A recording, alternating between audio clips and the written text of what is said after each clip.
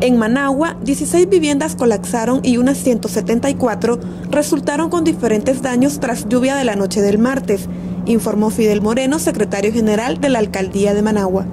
Una sola hora nos llovió prácticamente lo que había venido lloviendo en todo el, en periodo lluvioso. Eh, eso nos provocó hasta el momento eh, afectaciones en 28 barrios de la ciudad de Managua. Tenemos 174 viviendas con afectaciones de diferente índole, desde anegaciones a situaciones un poco más eh, severas como la que hemos vivido en este barrio particularmente. Tenemos un recuento de 16 viviendas que eh, tienen, eh, colapsaron o que están por colapsar y que por tanto deben de ser sustituidas. 16 viviendas hasta este momento. 11 viviendas que resultaron con afectaciones severas en techo y que igualmente debemos de atender. La vivienda de Melba Esperanza Meneses forma parte de estas estadísticas.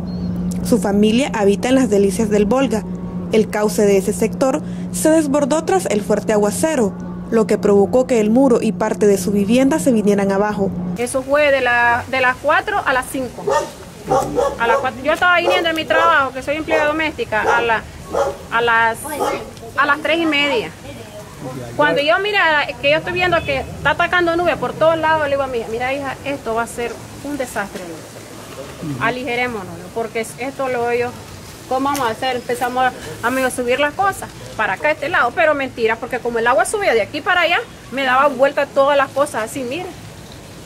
Como la puerta no pudo abrir, gracias a Dios no la tumbó, entonces abrimos la, eh, mi hija dejó abierta arriba a la ventana, entonces salía el agua por la ventana, pero las cosas las perdimos porque eh, eh, navegaban en agua, muebles, sillas y todo. Y en el barrio anexo Buenos Aires, el muro de una iglesia mormona colapsó sobre esta vivienda. Hay cuatro personas heridas, tres están este, fuera de peligro ya.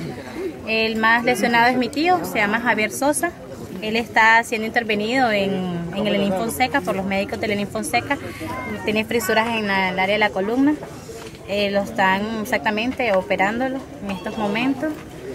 Eh, y los, eh, bueno, y lo, lo que pasó fue que a consecuencia del muro perimetral que está mal construido, la, iglesia de los mormones se hizo como una pileta de agua, porque no tiene desagüe. Entonces el muro se colapsó. En esos momentos fue que ellos estaban dentro de la casa y fue que les cayó encima. El secretario de la comuna dijo que unos 34 árboles se cayeron sobre algunas vías importantes de la ciudad y que estos ya están siendo removidos. Además, dijo que el municipio de Ciudad Sandino también resultó con afectaciones importantes.